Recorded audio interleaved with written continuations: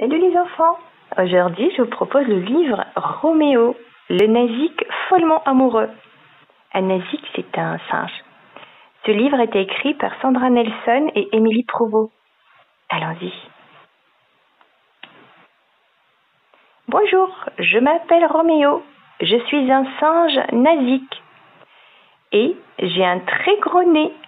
C'est la particularité de ces singes quand je suis en colère et deviens énorme. Et mes cris font très peur à mes adversaires. Comme ça, on a fait connaissance avec Roméo Lunatique.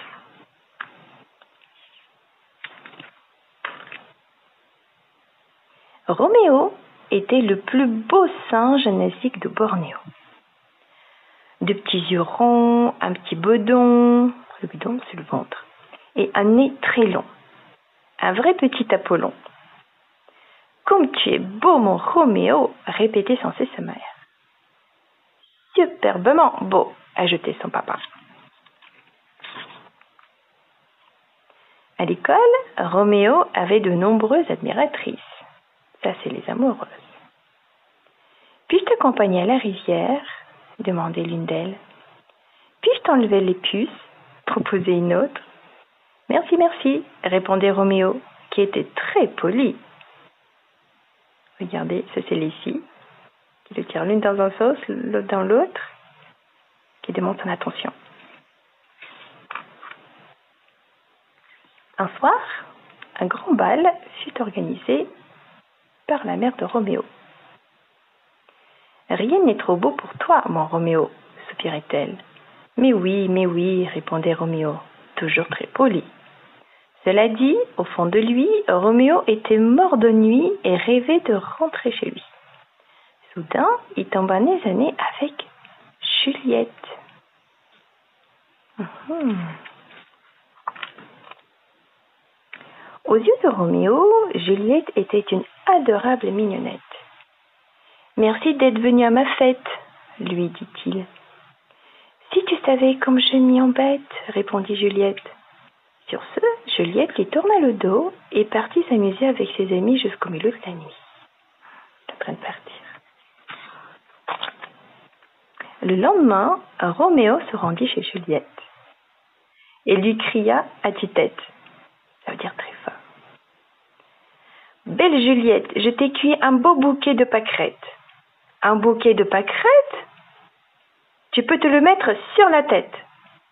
Ou bien le manger avec de la vinaigrette, répondit-elle. Roméo était abasourdi par tant de moqueries.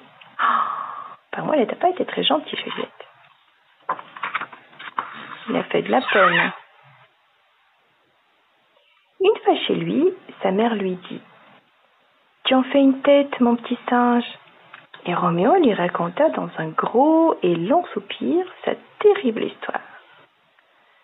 Quelle petite peste, c'est Juliette, lui dit sa mère. Mais Roméo aimait Juliette, et cela, on ne pouvait rien y faire. Le lendemain, alors qu'il errait dans les quartiers de Juliette, Roméo lui proposa Je vais te chercher à goûter. Oui, mais alors des feuilles pleines de saveurs, des fleurs de qualité supérieure et de bons et gros bourgeons. Hmm. Apparemment, il savait très bien ce qu'il voulait, Juliette. On le voit bien ramasser les feuilles, apparemment les meilleures. Sa mission accomplie, Roméo se déposa chez Juliette avec un petit mot où il avait écrit Bon appétit. Quand le lendemain Roméo croisa Juliette, pas un bonjour ni un merci. apparemment, il n'a pas été très poli. Au lieu de ça, un petit j'ai été malade toute la nuit à cause de tes feuilles moisies. Et puis, ne fais pas cette tête, je n'aime pas les singes nasiques, c'est ainsi. Je préfère les gorilles et les mandrilles, les chimpanzés et les mangabés, sans oublier mes préférés, les macaques. Eux, au moins, n'ont pas des nez comme des patates. Bien moqueuse, hein, Juliette. Juliette aimait tous les singes qui ne les ressemblaient pas et n'aimait pas ceux qui lui ressemblaient. Allez comprendre pourquoi.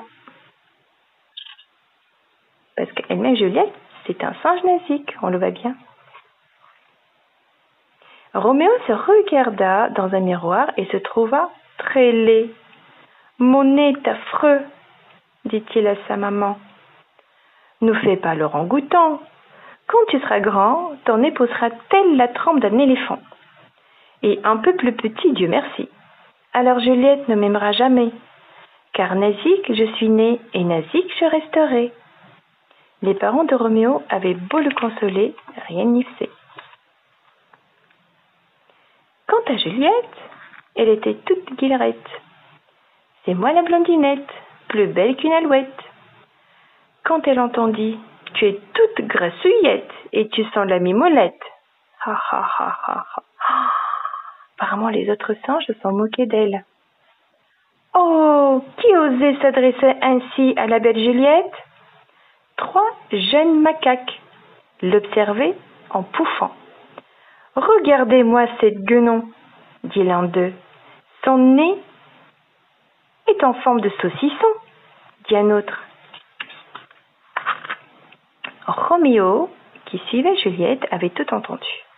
Il était tellement en colère que son nez gonfla, gonfla, gonfla. C'est ce qui se passe chez les singes nazis quand ils sont fâchés. Et c'est très impressionnant. En voyant cet étrange singe au nez gonflé leur foncer dessus, les trois macaques détalèrent. Ça veut dire qu'ils sont sauvèrent.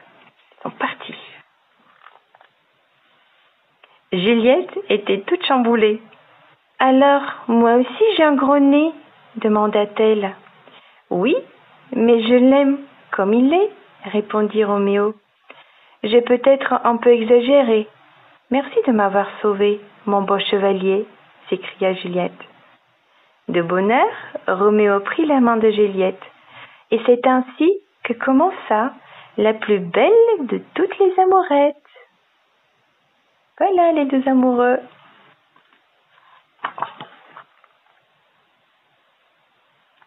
Voilà les enfants. Bonne.